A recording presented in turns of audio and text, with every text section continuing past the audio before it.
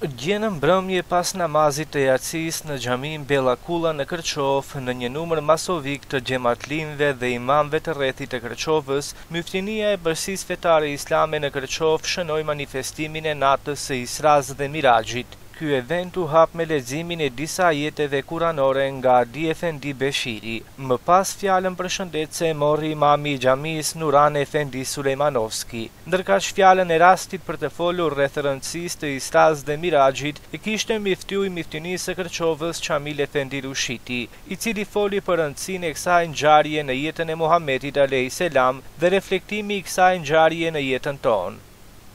Programi u pasurua me leximin e disa ilahive nga Edis Mehmedovski, Abdulkadar Bobeski, Enis Mahmudovski, Ndërkaq nga Mevludi lexuan Ilmi Efendi Kadriu dhe Reshat Efendi Bilbil. Programi u përmbyll me një pjesë të ajeteve të Kuranit dhe me lutjen e kësaj nate nga Imami Imer Efendi Jusufi.